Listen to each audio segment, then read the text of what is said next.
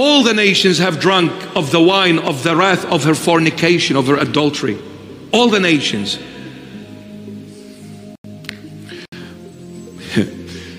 Even my grandma in a little village somewhere in the Middle East, she's got TikTok. they all drank of the wine of her of her fornication, of the wrath of her fornication. Everybody's got now internet and Wi-Fi. Even in the villages, go and milk the cow. What do you want? The iPhone and the Galaxy for?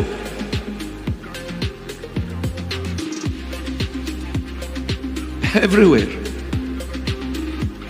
I remember till now.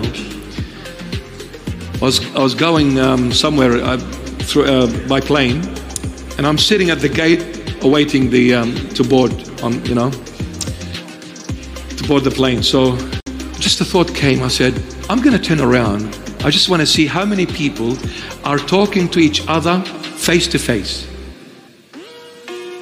None.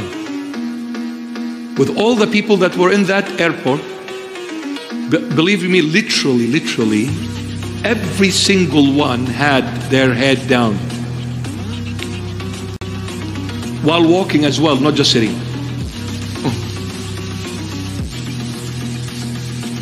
Habibi, do look. What's this?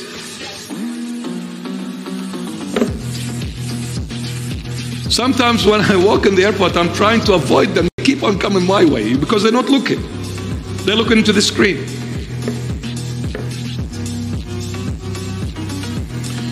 Everyone, all the nations have drunk of the wine of the wrath of her fornication. The kings of the earth have committed fornication with her, and the merchants of the earth have become rich through the abundance of her luxury. Yes, Mammon, the false god. People denied God for money and wealth, fame. The dollar sign became the false god, even in the church money became God. We sold Christ like Judas Iscariot did for money. Today, even in the church, we are buying and selling in the name of the Lord, trading in the house of the Lord because I want to be rich, because money brings me power, and power brings me people. I'll make them bow before me. Wow. Where is the power of the Holy Spirit? You know, I'll leave you with this. The day of St. Peter's Basilica was being opened, the Vatican. And please don't get me wrong, I'm not talking about uh, the Catholic Church, okay? I'm not, so please. Today, like, I'm really scared what to say because everything I say they are holding against me. So relax, please the day that St. Peter's Basilica was being opened, this is true story, this is history.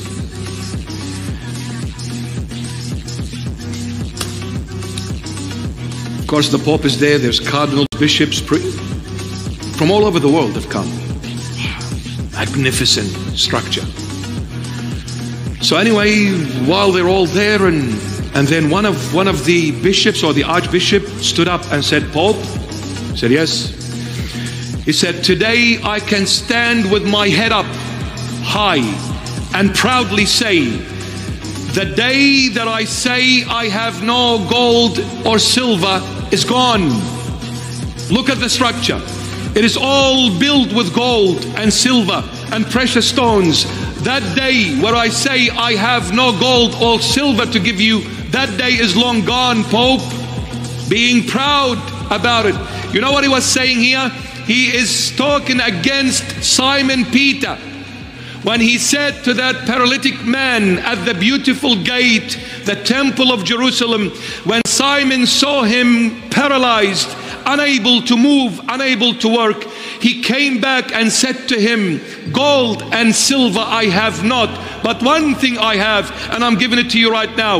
In the name of Jesus Christ of Nazareth, get up and walk. So this lost soul cardinal said, The day is gone, Pope, to say I have no gold and silver. But the Lord has witnesses all the time, every time. Another cardinal stood up from the other side and he said, Pope, will you allow me to answer my brother? He said, Please do. He said, My dear friend and brother, it is so sadly also I can say the day is gone when I can say in the name of Jesus Christ, get up and walk. That day is long gone too, my dear friend. Because the day you worship money, the day Christ has walked away from the church. It became a den of thieves and a trading place, a supermarket. Where is the day we say in Jesus' mighty name, get up and walk? That day is gone. Because we're not worshiping the Lord, we're worshiping material. Material. Material, my beloveds.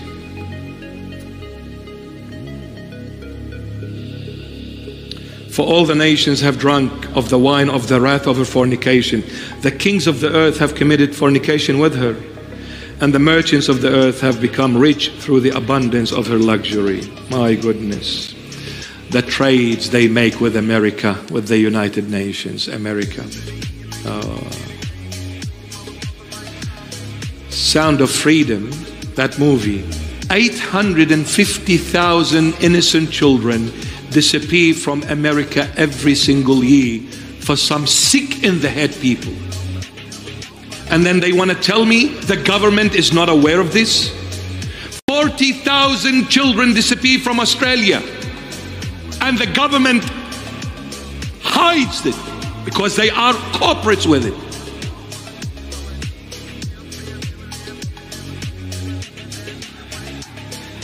They have committed adultery,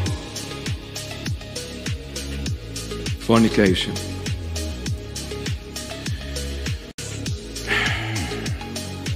And then church leaders come out proudly and say, listen to the government. The government is from God. No, it's from Satan. This kind of government is from Satan. Don't you ever offend God. When God puts a government, he will put a government that will protect the freedom and the dignity of humanity, not enslave humanity. Who enslaves people? Satan. Corona in 2020 was an enslavement of humanity. But you see, the Lord allows it, even though it's not His will.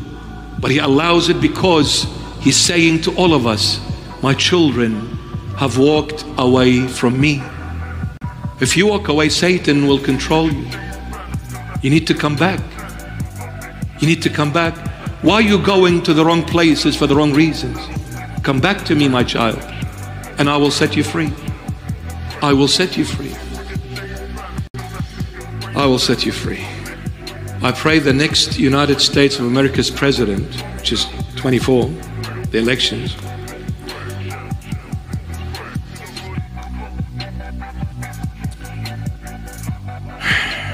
I know some people are not going to like this, but I pray it's going to be Donald Trump. But one thing I'll say out of the entire presidents in the history of America, no one promised one thing and he did, except Donald Trump. I don't care. Everyone, no one is perfect, by the way. So if you're going to judge this person, well, judge yourself because everyone is a sinner. The only one who's perfect in the flesh is Jesus Christ of Nazareth. Period. He is the only perfect Lamb of God. But you tell me, which president? Yet he was being persecuted throughout his, his term. No one ever was persecuted the way this man was throughout those four years, maybe not even four years. They gave him hell. Yet when he said, I'll build, a, I'll build the wall and I'll make Mexico pay for it, he did. When he said, I will, I will bring America back to, it, to, to its you know, uh, glory, he did. He brought a lot of businesses back. It flourished. Everything flourished within a very short time. But I want to see this man one on one behind closed doors with no detectives. I want to talk to him. I want to see him five minutes. Say one thing to him and then leave him. But believe you me, if Trump is not the next president, it's not about Trump again, it's the Lord. If Trump is not the president of America next year, kiss America goodbye. Christians will be trampled underfoot. Because the next superpower will persecute the Christians. I'm telling you. I'm telling you. It's not about Trump, it's about the Lord.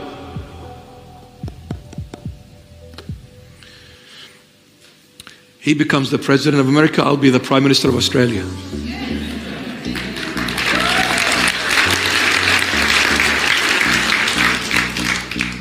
Um, when I become the prime minister of Australia, to all my beloved men with tattoos and big muscles, get ready because one of you will be the minister of transport.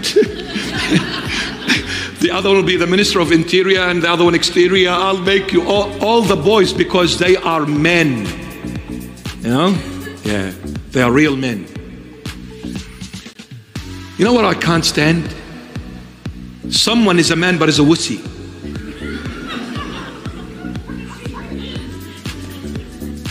Yeah, yeah, yeah, I'm really upset.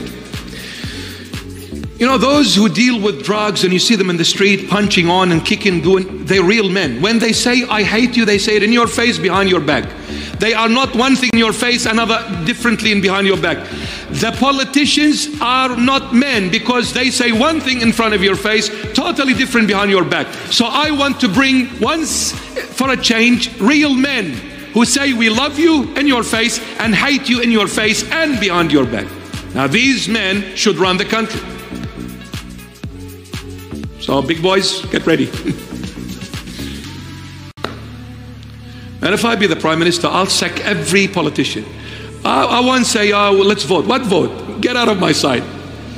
I'll bring the people, I'll select them, I'll bring the Christian ethics and laws and morals back to the country, and I will get rid of all the evil laws that they have introduced in 24 hours. Hmm. And then I'll cut off the grants from those so called Christians who were very weak during lockdowns. No more grants for you. Get out. I want real Christian leaders, real men. I'll give the grants to real men, not cowards. And then they can kill me. I've done my part. But I'll appoint someone else that will come in my place. And you'll have your freedom then. And we will protect all the all the minorities' freedoms as well, but within guidelines. This is a Christian country. And the Lord taught me to love my neighbor. My neighbor can be an atheist, can be a Muslim, can be a Buddhist, can be anyone. I'll give them my life. But morals, ethics, values, and we will bring back family values.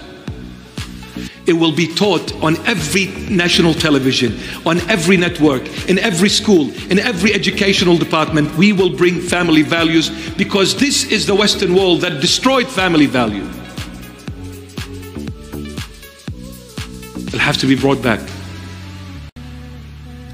Without family value, there is no God. Because God is family. You remove family, you're removing God from your life. All you're going to ask for is absolute hell. Demons dwelled in that place where they spoke in the name of human rights. Demons are dwelling there. We need the Lord. We need God in our life. We need We pray, my beloveds. We pray the Lord comes back and fixes everything. We pray the Lord changes everything. We are too tired. We are heavy burdened. Lord, have mercy on your church. Have mercy on this world. One more time, Lord, we beg you. Change this evilness, decimate it, plug it from its roots, Bring back your holiness, bring back your light, bring back your righteousness, bring back your glory, bring back the day of dignity, and bring back the true humanity, Lord. Bring back the true identity of what a human is supposed to be. Enough of this evil, enough of this filth, enough.